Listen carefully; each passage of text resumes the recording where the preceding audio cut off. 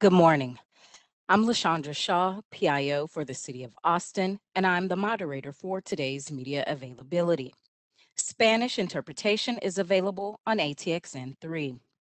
To start, Dr. Desmar Walkes, Austin Travis County Health Authority, will first say a few words, followed by Interim Austin Public Health Director Adrienne Sturrup, then Janet Pichette, Austin Public Health Chief Epidemiologist, followed by Cassandra De Leon, APH Chief Administrative Officer for Disease Prevention and Health Promotion Division. We will then open it up to our pool reporter who will ask questions on behalf of the media. Dr. Walkes, over to you. Good morning, Austin.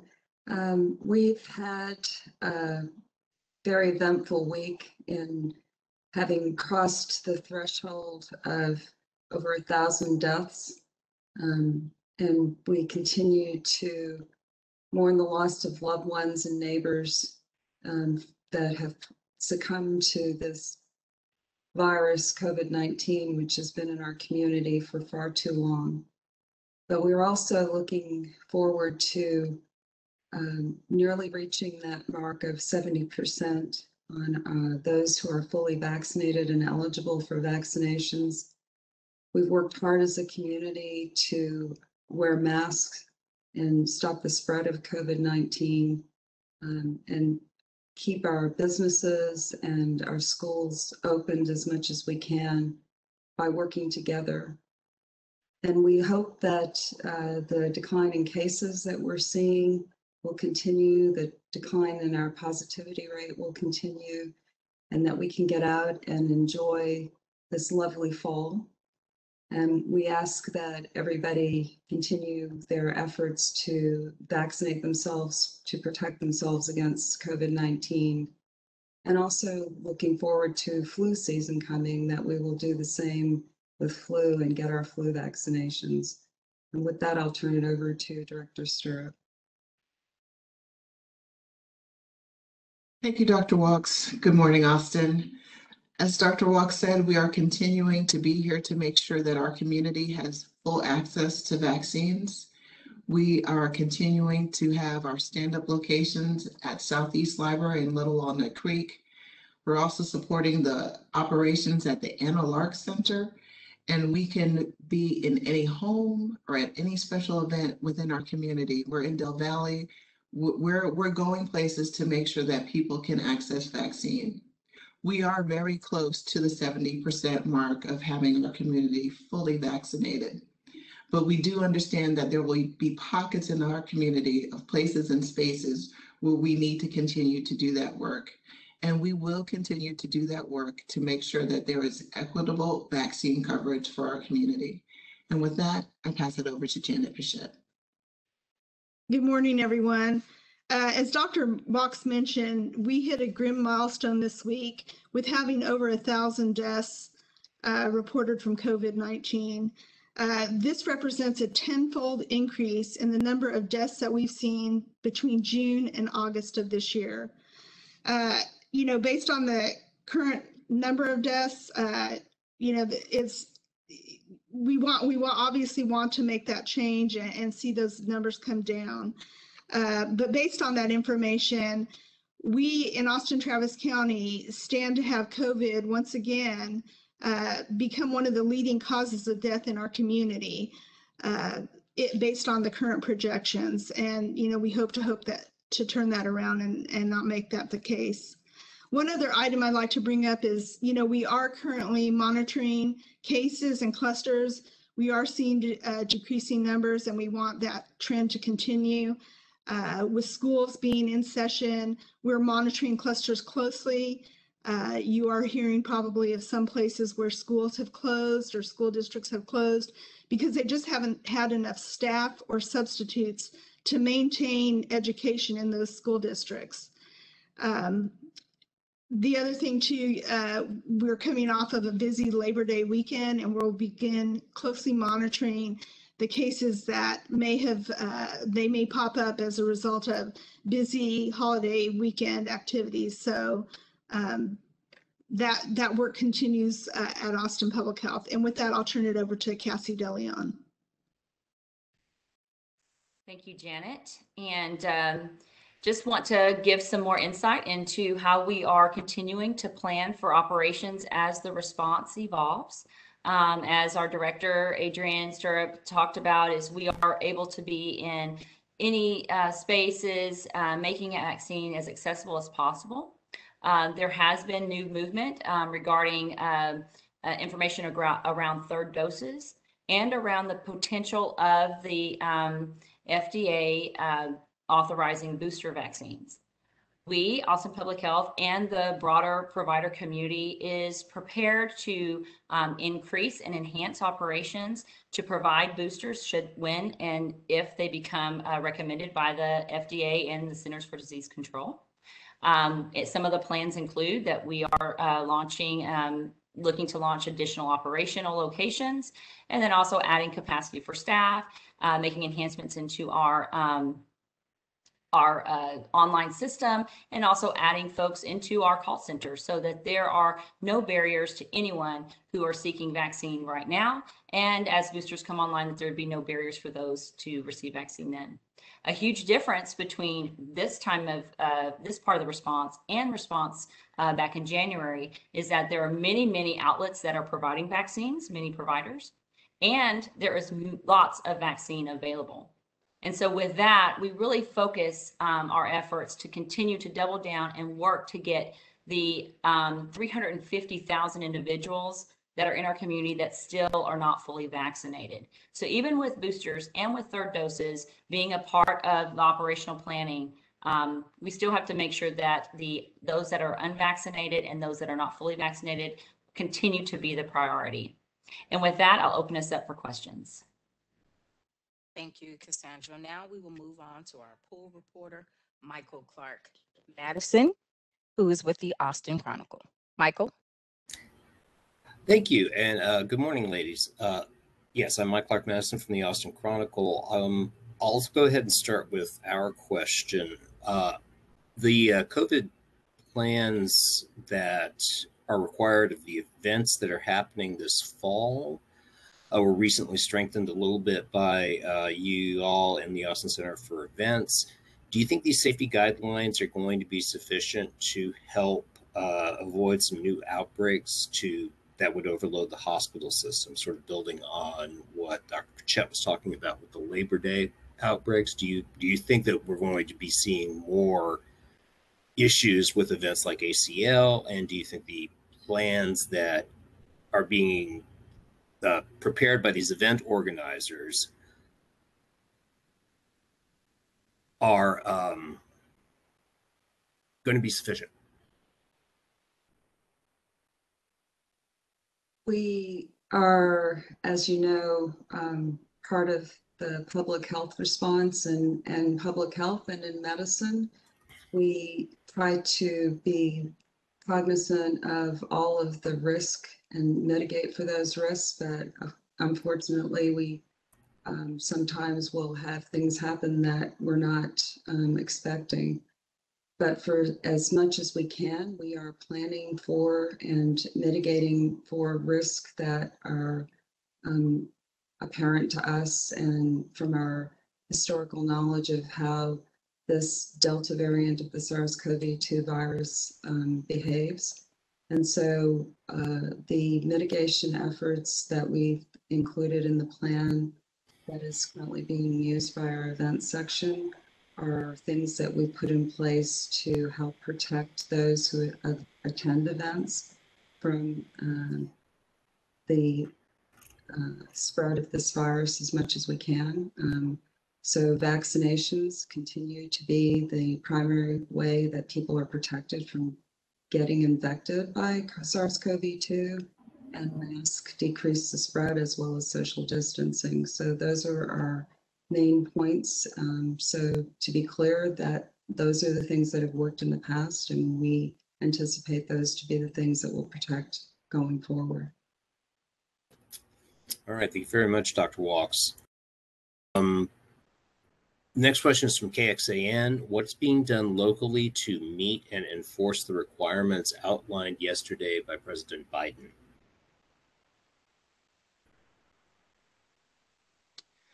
That is a very good question. Um, considering that the recommendations or the plan from the White House was released less than twenty-four hours ago, um, we will need time to review and to get more information to assess what the impacts will be here locally. Um, generally, as a public health official, I'm in support of anything that helps our community um, increase its vaccination rate. And I'll just layer on that we, Austin Public Health, as uh, we mentioned earlier, we're available to provide support for those businesses that want to get a heads up uh, ahead of this whole um, these men these recommendations uh, and provide vaccine. Um, so if if any business is interested in needing that support, we're available to provide that. All right, thank you, Cassie and Director Sturrup. Uh, the next question is from KOOP Radio. If the Delta variant can be carried and spread by the vaccinated, is a recent negative test a more important criteria for gatherings than proof of vaccination? So it is true that there is asymptomatic transmission that occurs in people who are vaccinated, but uh, vaccine breakthrough cases happen less than 1% of the time. So vaccinations still are an important part and the most important part of protecting ourselves uh, from becoming sick due to SARS-CoV-2 infections, including the Delta variant and any other variants that may be in circulation. Um, a test, however, is another layer of protection and a negative test in, in the face of somebody who's vaccinated just gives that much more assurance that there's less risk of becoming infected when you go to an, an environment where there are several people that you're not related to, not living with, that are in attendance as well. And I will add, I'll add that, uh, you know, other layers of protection that we've been, uh, you know, trying to educate folks on since the very beginning of this pandemic include making sure you're masking, making sure you're social distancing when, uh, when you can, uh, you know, avoiding touching your hand or your face uh, with your hands, uh, washing your hands frequently, and most importantly, if you're sick, you need to stay home and and not expose other individuals. It requires all those layers of protection.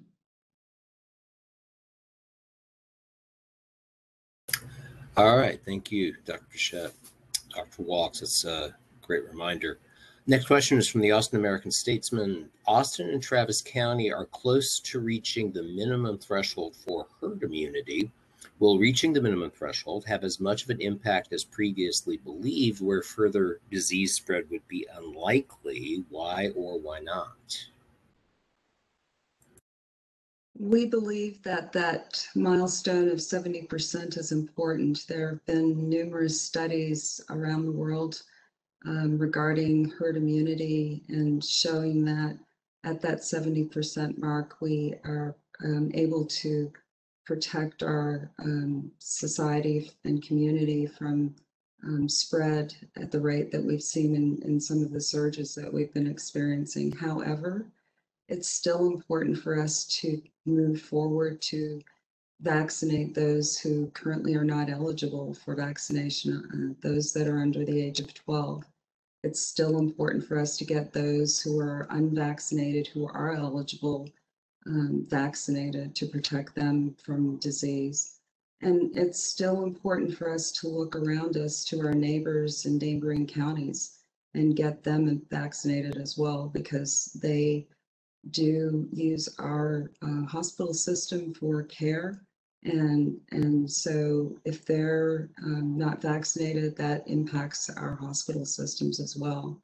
So although that milestone is within reach, we still need to redouble our efforts to get people vaccinated and protected from COVID-19.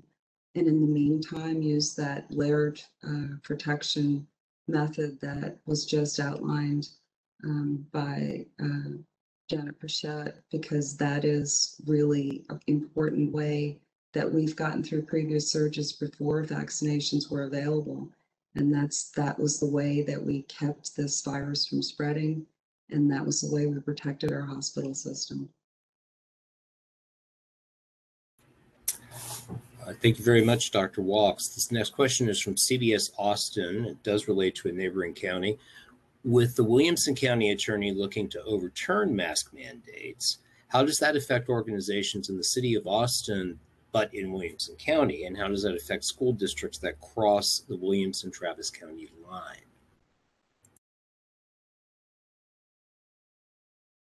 It's going to be uh, something that our legal team will review and um, advise us on. Um, The, the issuing of a mandate does not preclude an individual from making a personal choice to protect themselves from a communicable disease, SARS-CoV-2, by wearing a mask. And it doesn't preclude, of course, um, that individual looking for extra protection by, if they're not vaccinated, going out and getting vaccinated.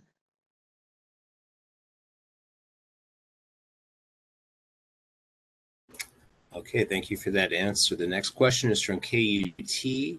Austin Public Health reported 23 new COVID 19 deaths on Wednesday, which appears to be the most reported in one day since the start of the pandemic. Is this high number evidence that the Delta variant is causing more severe disease, or is it a reflection of how this surge in cases is affecting the local healthcare system's ability to treat people?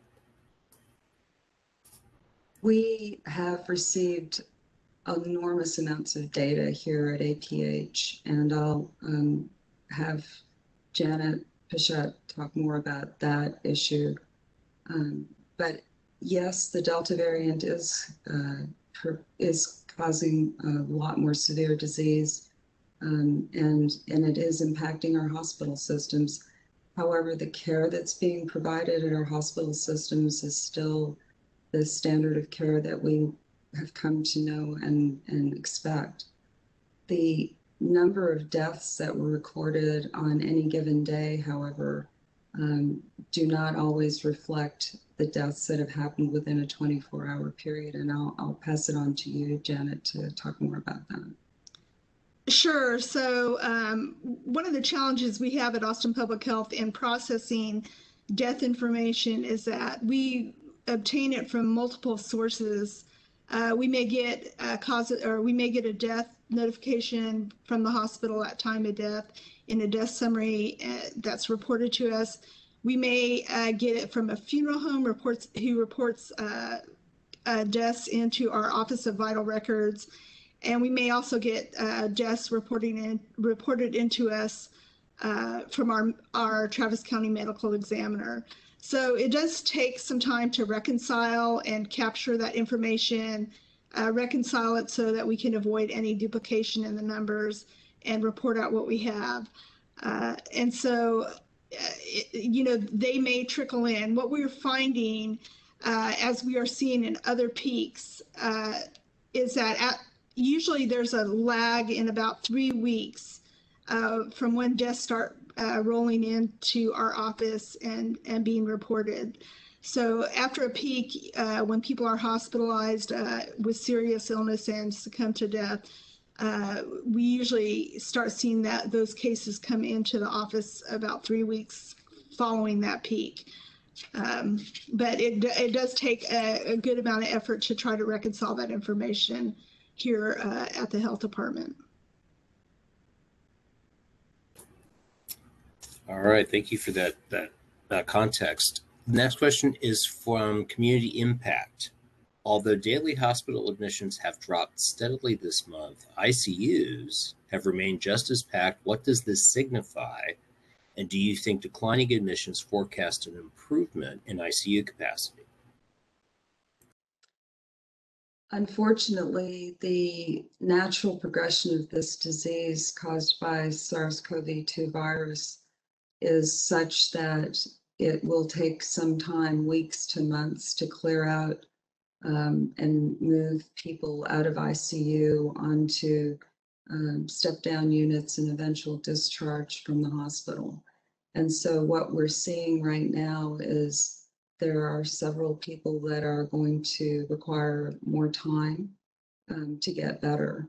And so, that is just the nature of this uh, disease that we're dealing with. it is encouraging that our hospitalization numbers are declining. And that is in large part due to the behavioral changes that we've seen in our community. People masking, social distancing, staying home when they're sick. Those who test positive, um, going to seek care of a healthcare provider, seeing if they're eligible for monoclonal antibody therapy so that they can avoid hospitalization.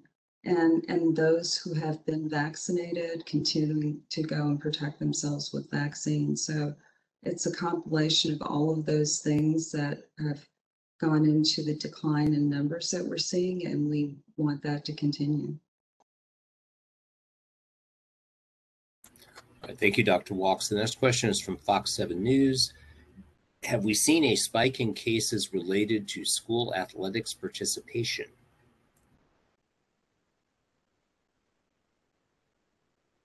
Um, you know, we are seeing spiking cases in school districts in general. And, uh, you know, I think part of the challenge with this overwhelming number of new cases that are, we're seeing in the school districts is that uh, there has been limited ability for some of these school partners to complete com- uh, contact tracing to the level that they need to identify where the actual so- source of uh, disease transmission risk begin. Uh, you know, we're trying to support the schools. We are seeing uh, clusters occurring uh, related to athletics and to the classroom and a number of other areas. Uh, but, um, you know, again, we're trying to support and provide recommendations where available.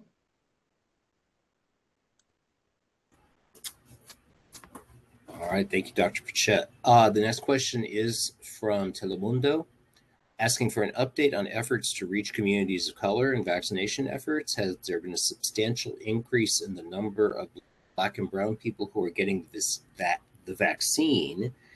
And could the city have done a better job at outreach from the beginning? I, I can start. Um, I will say that what we have seen in, um, you know, the, since the end of August to current, that the largest, uh, percent change within our African American and Hispanic population, that that's where we're seeing the largest change and increase in vaccine.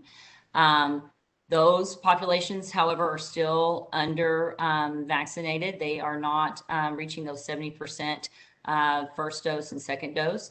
For example, our African American population is probably the most significantly uh, disproportionately represented here. Um, they still are lagging and they're um, fully vaccinated at only 32%. And so there's definite efforts that need to continue to be made to not just offer vaccine, but also to really meet people where they're at, uh, provide them with information about um, what the vaccine uh, can do for them how important it is for to get vaccinated, the safety of the vaccine, and really finding out what are the reasons for their hesitancy of not getting it.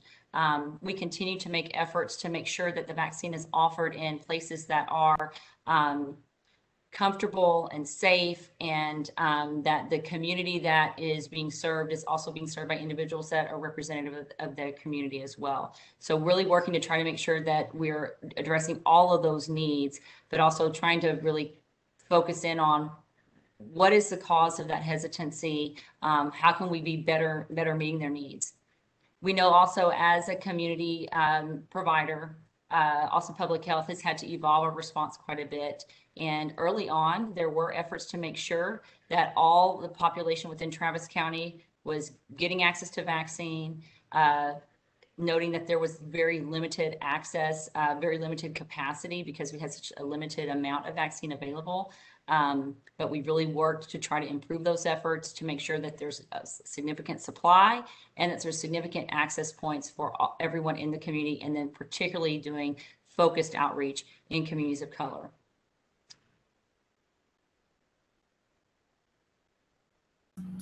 Okay, thank you for that answer. Our next question is from KXA. And again, what can you tell us about the Mu variant? And are you concerned about the announcement that it was found in Dallas County? So I'll take that. Uh, you know, the mu variant is a variant uh, that's been listed by the Centers for Disease Control and the World Health Organization as a variant of interest. This means that there's not uh, a lot of strong evidence for some of its ability to be transmissible and that that they're continuing to study its ability from a disease transmission risk standpoint, um, whether it's severe, you know, the severity of it and what, how effective it is uh, against uh, vaccine and other monoclonal antibody therapies. Uh, am I surprised that it's in the uh, in in Texas?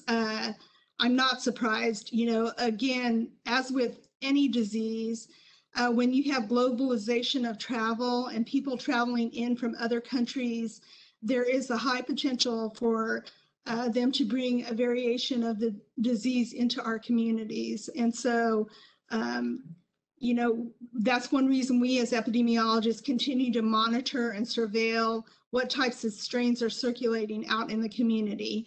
Um, again, it's listed as a variant of interest, not a variant of concern where there's more evidence about disease transmission risks and severity of illness. Um, what's most important at this point is that uh, Delta seems to be uh, the predominant variant strain that's circulating uh, currently in the United States and in Texas. And it's keeping Mu at bay. So, you know, one way we can get around from Mu taking hold in our community is to making sure that we are getting vaccinated and using those layers of protection to protect ourselves, and that is masking and those types of things. Uh, again, uh, you know, uh, this is a the way we keep uh, very variant disease from becoming predominant in our community is making sure that we're preventing disease transmission risks in general, and vaccination is the best way to do it. I just wanted to add on to that. Delta is 99% of what we're seeing in our cases here in Texas and around the country. Vaccination, vaccination, vaccination. That's how we're going to eliminate the spread of Delta and prevent the emergence of any variants um, in our society. So it's really important that we continue our efforts to vaccinate our community and continue to wear masks and social distance and stay home when we're sick. All right. Thank you, Drs. Pachetwal and Walkes. Uh, the next question is from KOOP Radio. According to Deutsche Welle, the German news network, Cuba has not only developed its own vaccine, but is now administering it to children as young as two. Uh, what can you tell us about this and I suppose about vaccination plans for children? We in this country uh, pride ourselves on our ability to um, address safety concerns for our population. Um, we look to the Food and Drug Administration, FDA, to provide us with that comfort level and that um, assurance of safety. And they are currently working on and um, advising and providing guidance on vaccinations, including vaccinations for children under the age of 12 for uh, protection against COVID 19. Um, so we know that when they have uh, full um, evaluation of the current COVID vaccines that are available and assure themselves that it is safe for us to give to our children, that they will give us the guidance that we need to go forward. And that's what we're waiting on. All right, the next question is from the Austin American Statesman. As fall quickly approaches, what concerns does Dr. Walkes have about the state of the pandemic paired with a likely higher infection rate of the flu because of a decrease in mask wearing and social distancing? Last year, we enjoyed a negligible impact of influenza in our community because of what we were doing to prevent um, the transmission of and spread of uh, COVID 19 in our community as I said earlier, that that was the, the things that we use, the non-pharmaceutical measures of masking, social distancing, hand washing, staying home when sick. Those were the only things that we had before the um, introduction of vaccine um, to prevent the spread of this disease. And this disease, COVID-19, is, is caused by aerosolized uh, droplets that uh, travel through the air between people. And masking prevents the introduction of those um, infected droplets into our systems. That same thing is true of the flu. So in order for us to prevent the spread of COVID-19, um, we've introduced and continue to use masking and social distancing and hand washing and staying home when sick to keep ourselves safe from spread of COVID-19. And those things will continue um, throughout the, the year um, in, in varying amounts uh, in various situations, but continue to be the way that will prevent the flu. Along with that, we now have vaccine for not only the flu, but COVID-19.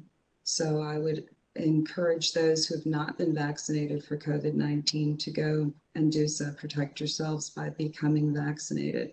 It's safe.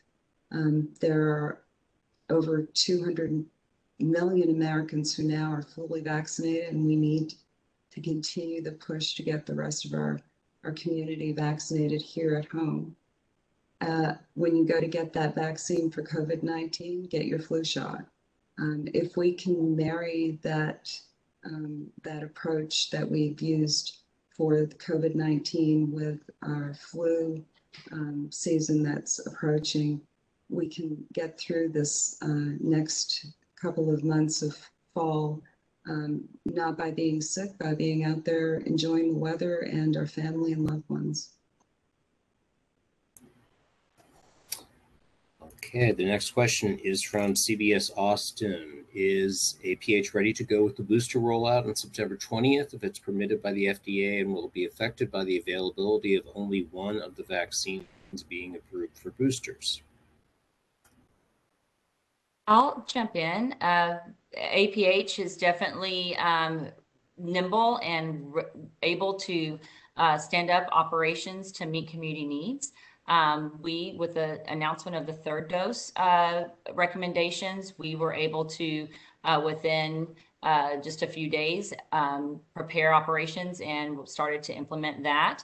Um, for boosters, we are looking to see what our capacity needs are and are adding additional staffing um, and locations to be able to anticipate um, needing to provide boosters in um, our current clinics. Um, one thing to note with Pfizer being the anticipated booster vaccine that will be recommended. Austin Public Health is a Pfizer provider, and we currently offer Pfizer in all of our clinics along with the Moderna vaccine. And so definitely we are prepared. And as of 920, which whatever occurs regarding the um, federal recommendations, uh, we will have those uh, that ability to um, to offer that uh, vaccine to our community. Again, we still will ensure that we are focusing on uh, vaccine efforts for those who are still unvaccinated and not fully vaccinated, but we'll be able to um, complement uh, those vaccine efforts with the booster uh, vaccine strategy as well. Okay, the next question is from KUT. What is the likelihood of death among the hospitalized? Do you have a percentage you can share? We are working um, at with the number that one in 100 people that develop COVID-19 will um, pass as a result of this disease entity. And it often happens in those who are um, older, and it often happens in those who have comorbidities. Um, and that is why we continue to urge our community to be vaccinated, to uh, protect themselves from um, becoming ill uh, when they're not protected by vaccination, by wearing masks, social distancing, and staying home when sick. Um, we now have um, available and widely available and being used now in our community. Um, monoclonal antibody therapy, which has been shown to decrease by 70% hospitalizations in those who are eligible and at risk for more severe disease from COVID 19. So I would urge anyone who is sick to test, um, test early. Um, if you test positive, reach out to a healthcare provider to see if you're eligible for monoclonal antibody therapy. It is free, it doesn't require ID. Um, it, it's something that um, will help you get better quickly and it will prevent hospitalizations.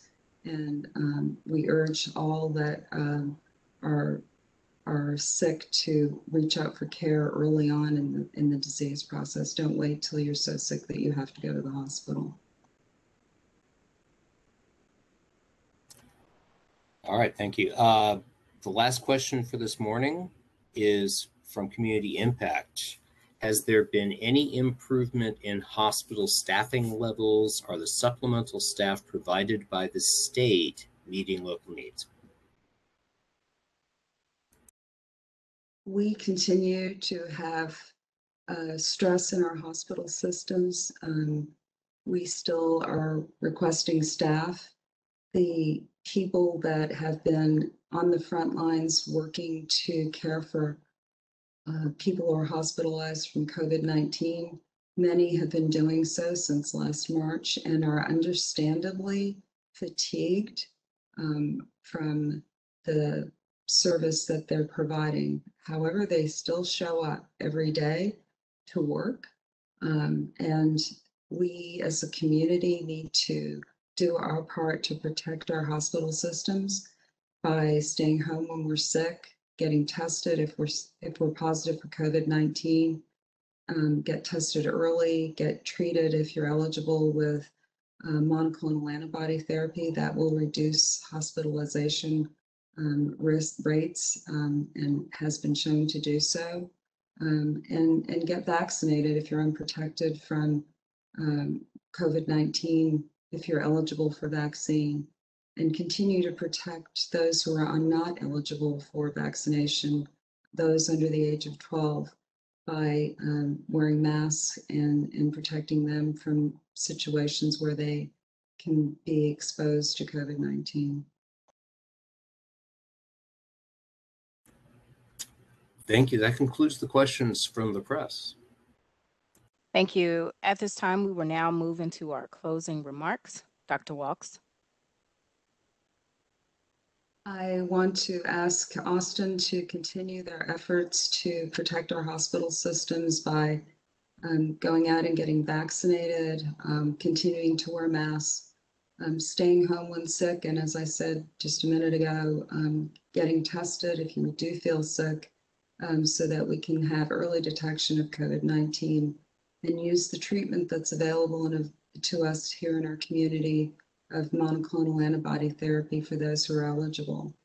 Um, the, this is the season for the flu, so it's important that we get out there and get our flu shots. It's important that we um, protect our loved ones from um, getting not only COVID 19, but the flu.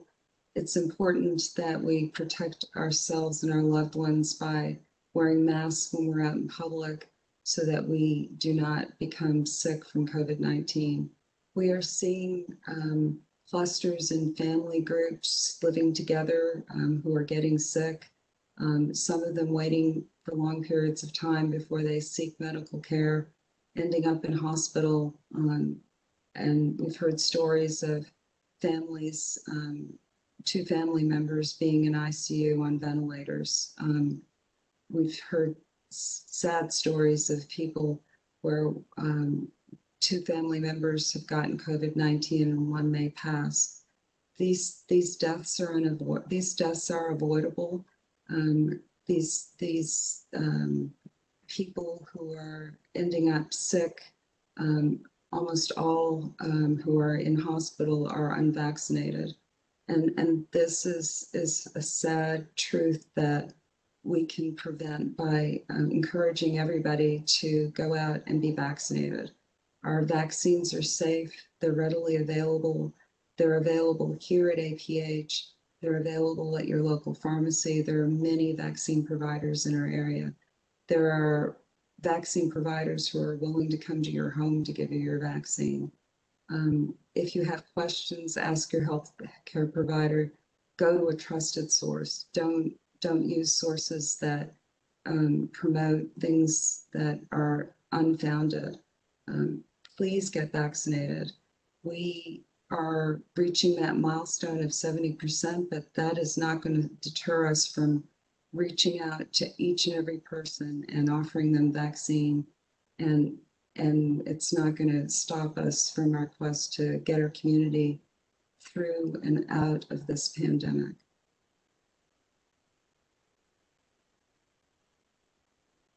Thank you, Dr. Walkes. Um, I'm thinking back to one of the questions earlier. Uh, was there anything that Austin Public Health could have done better? Of course. Um, I think there's always opportunities for improvement and we we recognize that and I really celebrate and salute the staff for their um, efforts to be as transparent and as vulnerable in their work as possible. Um, at every step possible, we try to engage community. We've um, incorporated community feedback um, into many of the improvements that we've made, which is why we're confident in our booster rollout strategy. And when we ever get to the place for vaccines being available for kids, we've heard the concerns and we've made changes and we're going to continue to listen to community. So that's our commitment to you. We are your public health department and we will be here to ensure that every community gets to the 70% mark, uh, whether you're black, brown, east side or west side. Um, and my public health closing statement for today uh, to summarize flu season is right around the corner. We have two arms, get two shots. COVID, flu. Keep safe. Thank you. Thanks. And as we've talked about, you know, the grim milestones that we've reached this week related to deaths, and I think there is some hope uh, in our future, and that is we are seeing the number of cases decrease. And, you know, again, if we want to change the tra- trajectory of this pandemic and have things start coming down again, we need to do and use all those layers of protection that we've discussed today.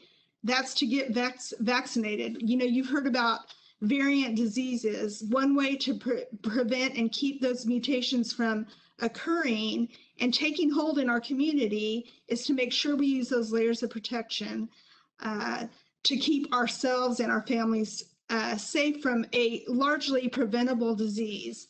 So, you know, again, get vaccinated. Uh, it, it's a simple thing to do, it's safe, uh, and it will protect you from severe illness and hospitalization and death. Uh, make sure that you are wearing your masks, make sure you're social distancing, make sure you're doing all those things to protect yourself and your family. And with that, I'll turn it over to Cassie. Thank you, Janet. And just to echo everything else everyone else has said, you know, vaccine is uh, widely available, and we know that it is really critical to um, help support our community and to get us um, uh, protected from uh, ongoing transmission of this disease. Um, one thing I do want to note is that we are seeing that first dose vaccine is getting close to 80%. That's a huge, huge, um, uh, great thing for our community. But we are seeing second doses are lagging behind. And so if you're due your second dose, it's time to get it. So make a plan to find a vaccine, to, to um, if you had Pfizer, if you have Moderna, find a provider that's providing that. Most providers have both and uh, make sure that you're able to stay on track with getting that second dose and finish the series because you're not fully vaccinated until you've received both vaccines um, and and have uh, been two weeks out from that second dose. So many of our kids got their first dose vaccine and back to school shots. It's time. If you got vaccinated mid August, it's time to get your second dose. So we really want to encourage everybody to if you haven't gotten a vaccine, seek a vaccine now. If you are needing that second dose, it's time to check your check your cards and see if it's time for your second dose and and uh, seek out a provider to get that vaccine. Um, and with that, just have a great weekend and take care, Austin. Thank you. That concludes our media availability for today. Thank you to Dr. Desmar Walkes, Interim APH Director Adrienne Sturrup, Chief Epidemiologist Janet Pichette, Cassandra De Leon, APH Chief Administrative Officer for Disease Prevention Health Promotion Division, and to our pool reporter, Mike Clark Madison from the Austin Chronicle. Thanks for joining us today. Have a safe weekend.